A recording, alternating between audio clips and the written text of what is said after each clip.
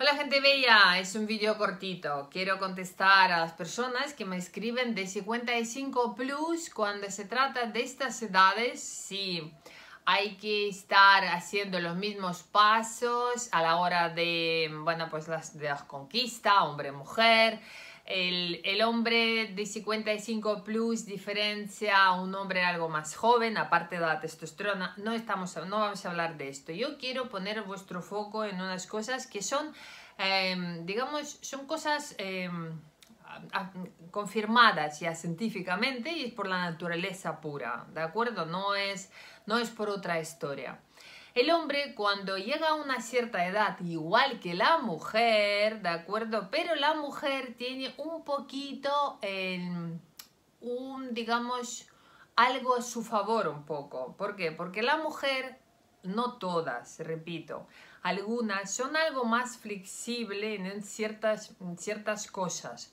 Pero aún así, hombre, mujer, después de una cierta edad, en este caso, después de los 50, cuando empieza ya a cumplirse más años cada persona, y no hace, como digo yo, ejercicios de yoga, estiramientos o algo similar, porque a través del cuerpo flexibilizamos la mente. Si esto no sucede, estamos eh, tratando normalmente con las personas que ya tienen unas cosas establecidas en su cabeza.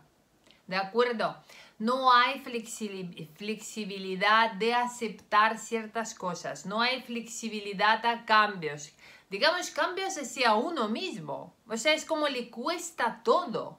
No porque no tenemos que cambiar a nadie, tenemos que encontrar a alguien que es eh, afín con nosotros. Pero aún así, una persona dice, vale, quiero mejorar mi forma de ser, pero junto con ello, con lo que quiero mejorar, hay muy pocas ganas realmente porque eh, conlleva a hacer ciertas cosas, porque cambios ocurren solo cuando una persona empieza a hacer algo eh, en 21 días, al menos algo eh, de continuo, todo el rato. O sea, es como yo quiero cambios y para que cambien mis neuronas, eh, conexiones neuronales, tengo que seguir esto, estas pautas. Y contra más mayor la persona, menos ganas hay de seguir estas pautas. Es ese problema. Entonces, sí, fijaros, hay mujeres que piensan que pueden cambiar a un hombre o sea, eso es como me junto, siendo jóvenes. Me junto con él y eh, con mis manos milagrosas le voy a cambiar a este hombre.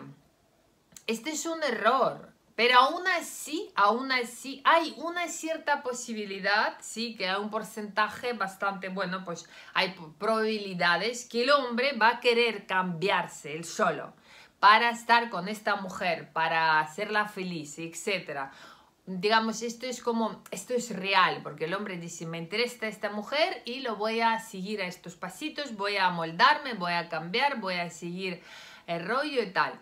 Pero esto estamos hablando de hasta una cierta edad, yo cogería hasta 40 y pocos. Luego ya empieza, es como, no, hay una rigidez mental, se llama así, porque las neuronas y ya las cosas están establecidas, están como no quiero ceder, no quiero cambiar. Yo vivo con mi película y esta película me mola y me da igual quién está delante.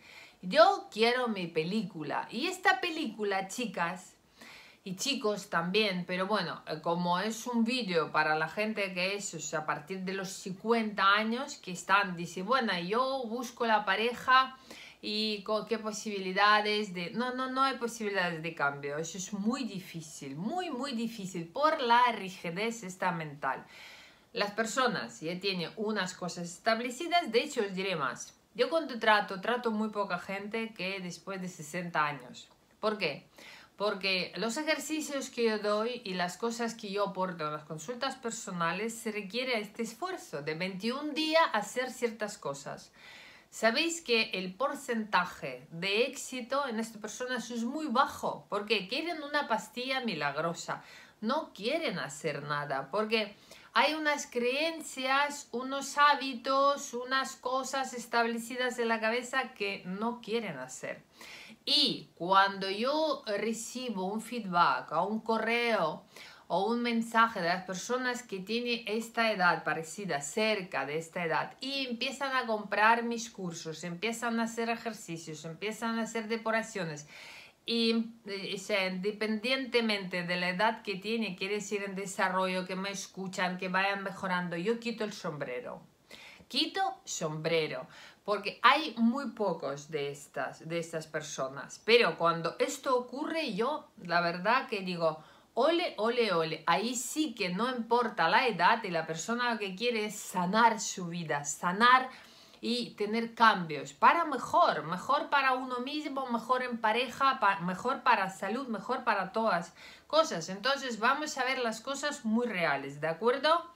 Que el porcentaje es bajo de cambios, pero sí que es real. Pero hay que ser consciente que contra más años tiene la persona, es más difícil que ocurran este tipo de cambios, porque ya está, o sea, conexiones neuronales rígidas y dice yo de ahí no salgo porque no me da la gana. Y así funciona mucha gente. Gente bella, nos vemos pronto. Gracias por estar y adiós.